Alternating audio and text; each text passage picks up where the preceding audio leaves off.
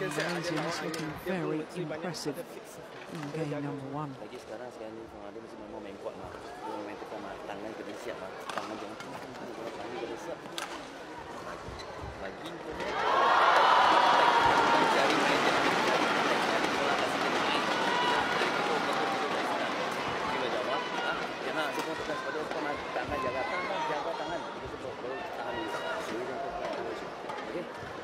Kita receiving, performing dia.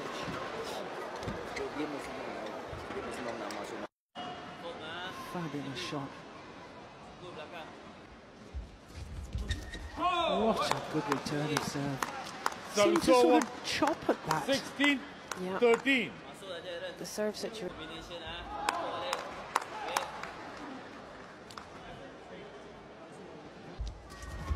Oh, that's a good return of serve. And it set up the opportunity for Aaron